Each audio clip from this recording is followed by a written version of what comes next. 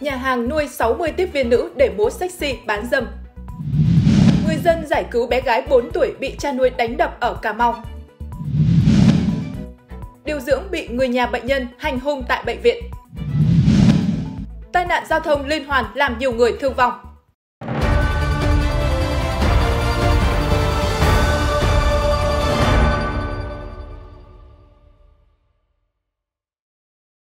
Xin kính chào quý vị và các bạn đang theo dõi chương trình trên kênh YouTube của chúng tôi. Ban biên tập chương trình xin gửi đến quý vị thông tin nóng nhất, mới nhất mà chúng tôi vừa mới cập nhật. Sau đây sẽ là nội dung chi tiết.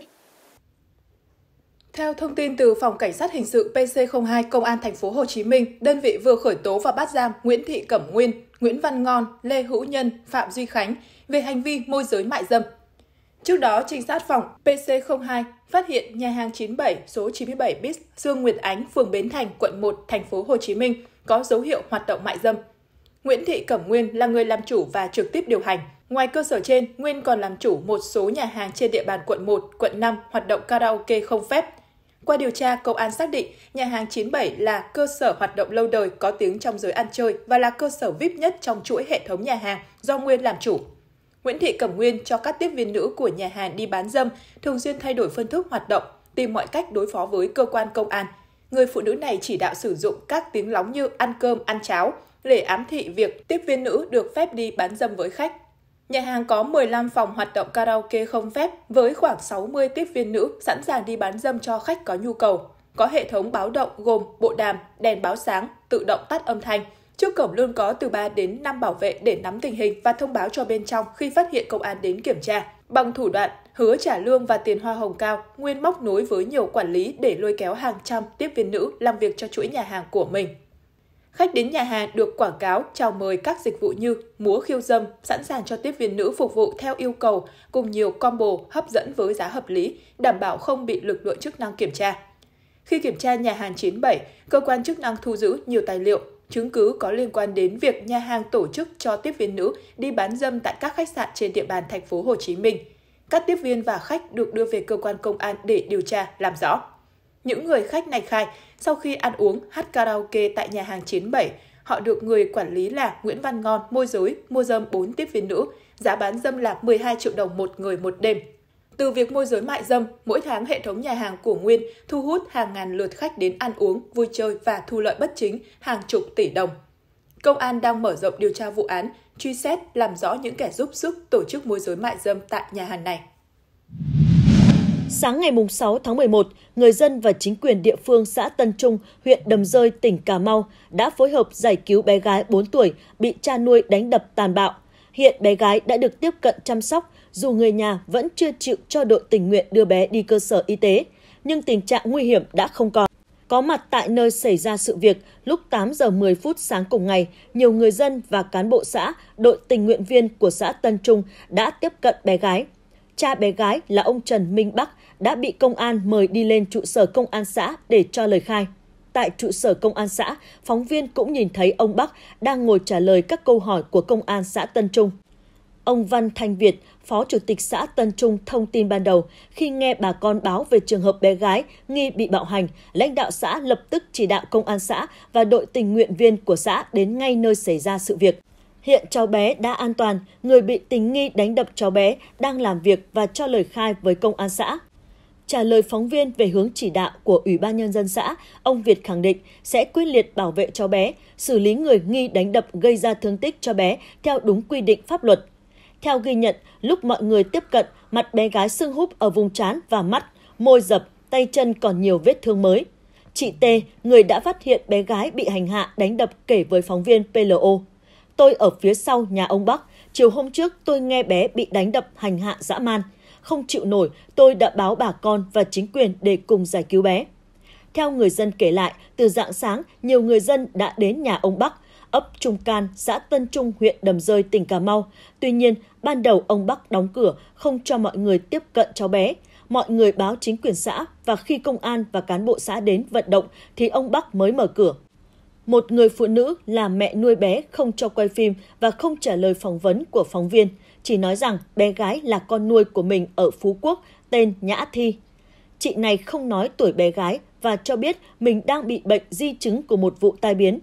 Những người dân ở lân cận cho biết vợ chồng ông Bắc thường đi làm ăn ở Phú Quốc và đem đứa bé theo. Thỉnh thoảng mới về quê, các nhân chứng cũng xác nhận bé gái bị đánh đập khi ông Bắc say rượu. Còn việc bé có bị hành hạ lâu dài hay đây là một vụ đột xuất, người dân không nắm được thông tin này. Mới đây, Công an thành phố Đồng Xoài, Bình Phước phối hợp Công an phường Tiến Thành điều tra làm rõ vụ một điều dưỡng Bệnh viện Đa khoa tỉnh Bình Phước bị hành hung ngay tại nơi làm việc gây thương tích. Theo điều dưỡng Trương Ngọc Nghĩa, khoa ngoại Bệnh viện Đa khoa tỉnh Bình Phước, khoảng 2 giờ ngày 5 tháng 11, anh có tiếp nhận bệnh nhân tên NMD, ngụ thành phố Đồng Xoài, vào viện với vết thương ở bàn tay phải. Khi hướng dẫn người nhà bệnh nhân ghi hồ sơ, điều dưỡng Nghĩa đã đề nghị người nhà ghi đúng tuổi theo năm sinh của bệnh nhân, nhưng người nhà bệnh nhân viết chưa đúng nên phải viết lại. Sự việc tưởng như không có gì, tuy nhiên sau đó một số người nhà bệnh nhân đã manh động dùng ghế đuổi đánh điều dưỡng Nghĩa, khiến anh bị thương tích ở cánh tay, bàn tay và phần đầu. Theo ghi nhận tại hiện trường, một chiếc ghế nhựa bị gãy chân, một số ghế ngồi làm việc bị ngã đổ.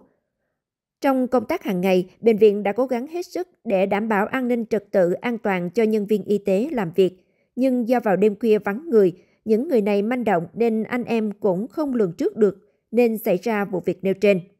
Sau đó, bệnh viện cũng đã phối hợp chặt chẽ với công an địa phương điều tra xử lý. Bệnh viện cũng hy vọng sự phối hợp tốt hơn nữa với các cơ quan, ban ngành để đảm bảo an toàn cho nhân viên y tế và người bệnh đang điều trị tại bệnh viện. Bác sĩ Vũ Xuân Thủy chia sẻ.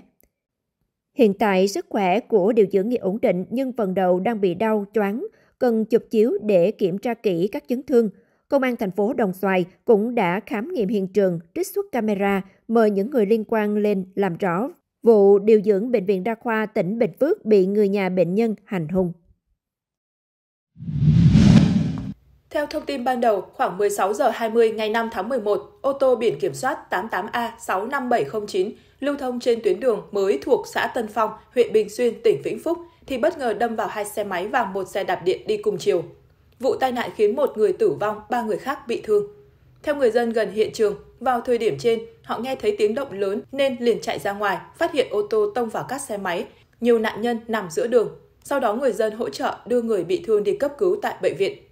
Ngay sau khi nhận được thông tin từ người dân, Công an huyện Bình Xuyên đã có mặt tại hiện trường để điều tra nguyên nhân vụ việc, đồng thời công an tiến hành kiểm tra nồng độ cồn đối với người điều khiển ô tô gây tai nạn.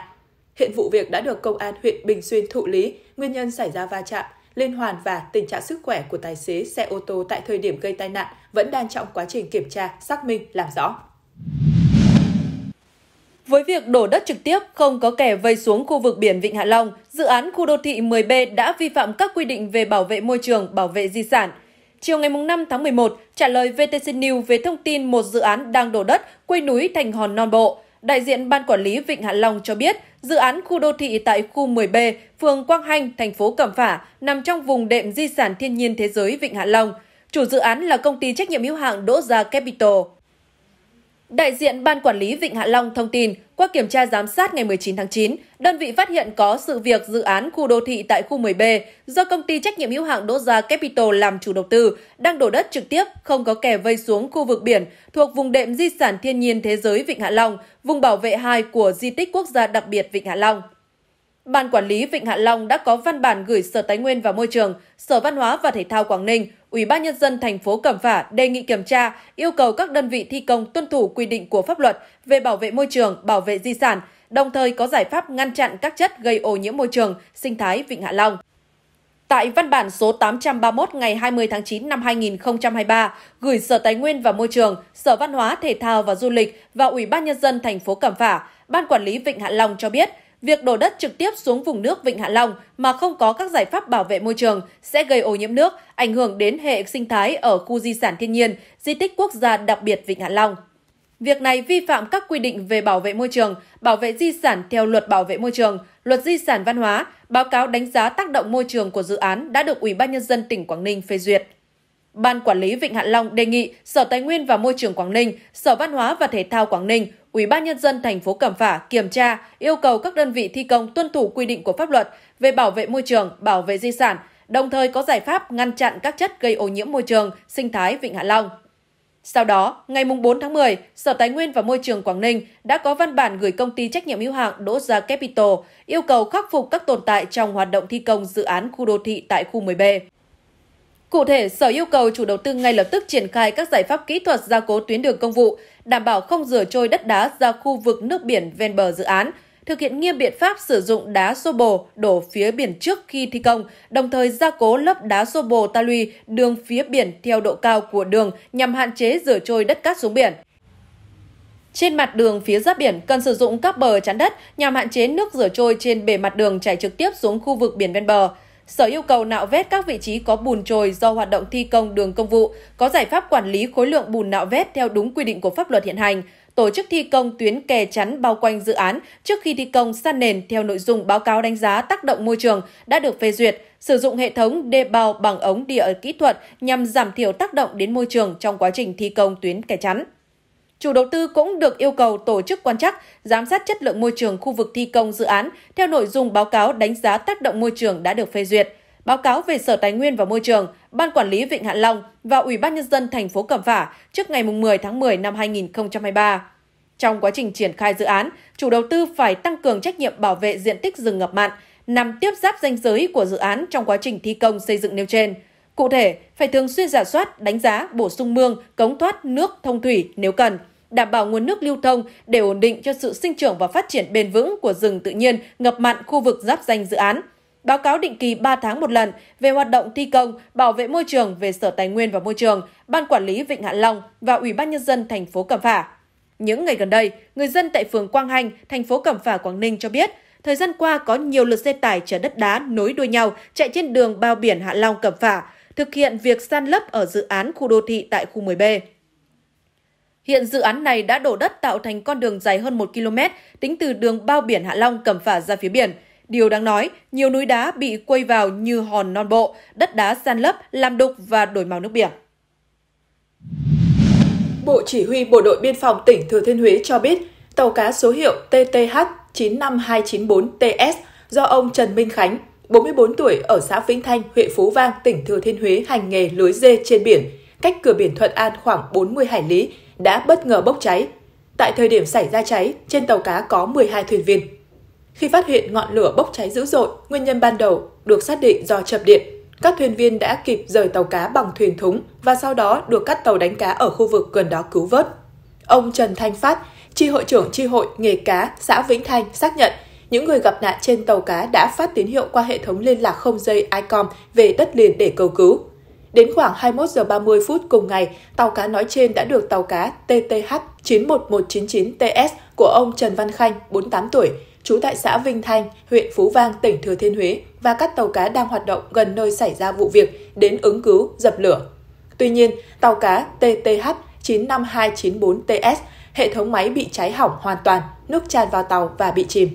Hiện, 12 thuyền viên gặp nạn sức khỏe ổn định. Các đơn vị chức năng thường xuyên theo dõi, liên hệ với tàu cá TTH 91199TS để nắm thông tin, sẵn sàng lực lượng trang bị thuốc men giúp đỡ ngư dân khi tàu này chở 12 thuyền viên vào bờ.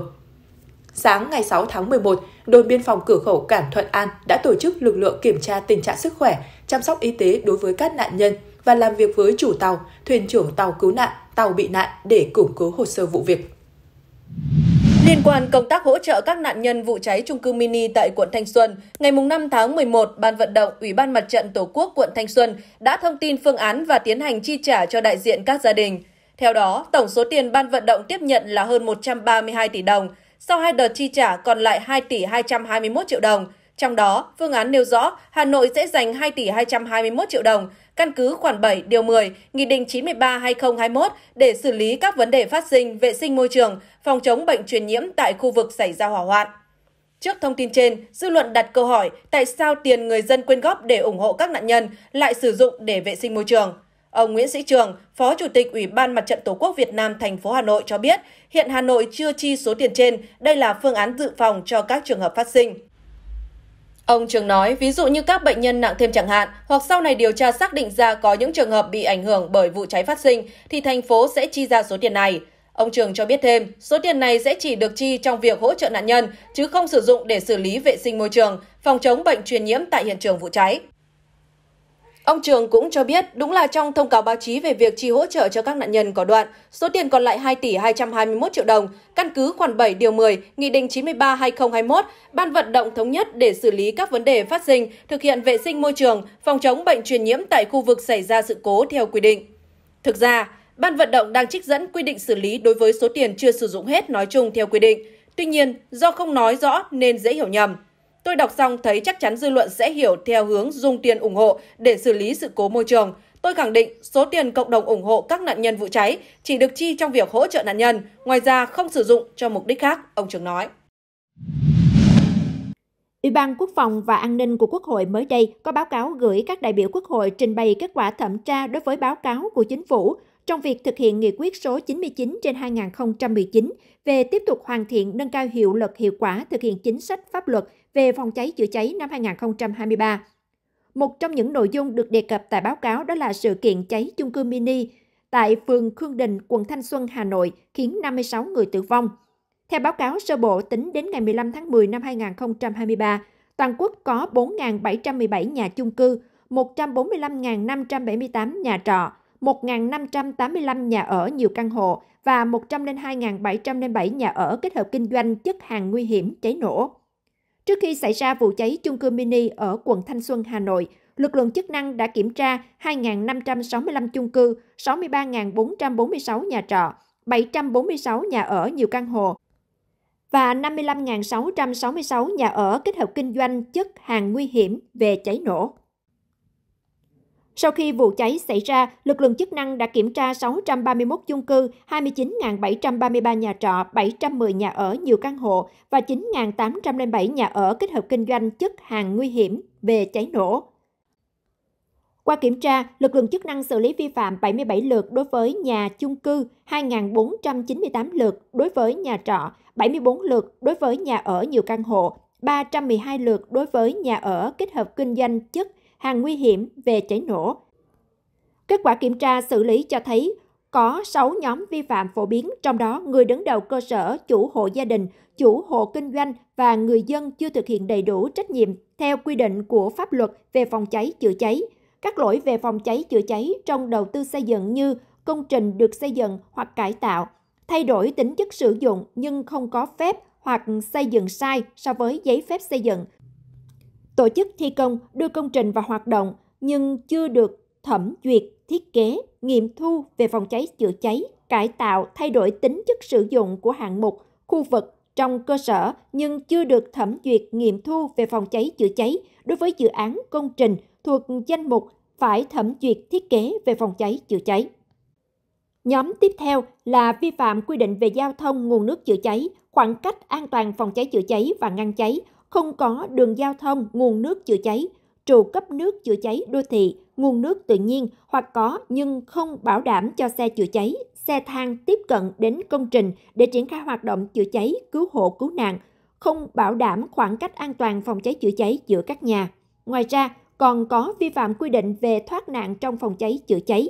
thiếu lối thoát nạn hoặc làm mất tác dụng của lối thoát nạn, đèn chiếu sáng sự cố, đèn chỉ dẫn thoát nạn chưa được lắp đặt đủ về số lượng, không đúng quy cách và nhiều đèn bị hư hỏng hoặc vi phạm quy định trong quản lý sử dụng hệ thống điện, nguồn lửa, nguồn nhiệt, dụng cụ sinh lửa, sinh nhiệt, lắp đặt quản lý sử dụng điện chống xét